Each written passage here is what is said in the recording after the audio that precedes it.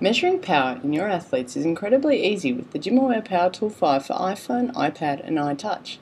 Sports performance professionals know that lift and jump power are key indicators of athletic performance.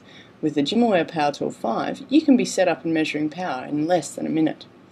To set up, attach the power tool by its magnetic base to a steel weight. Pull out the tether and attach this to the bar. When you pull the tether, the power tool will switch on and connect via Bluetooth to your iOS device.